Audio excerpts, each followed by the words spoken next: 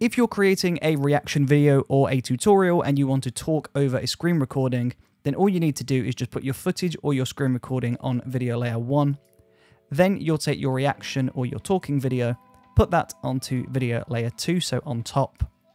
Then we're just going to go into effect controls and pull the scale down. So I'm going to pull that scale down to a more sensible size.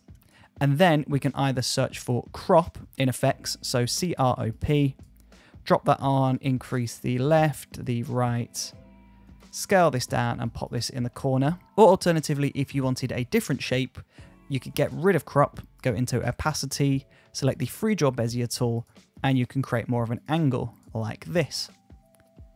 Then we'll just scale that down. We'll pop that into the corner and that is our reaction video now complete. Or alternatively, if you didn't want that, you could select the ellipse tool or the ellipse mask tool, and that is going to create a circle. So we can create a circle mask around ourselves like this.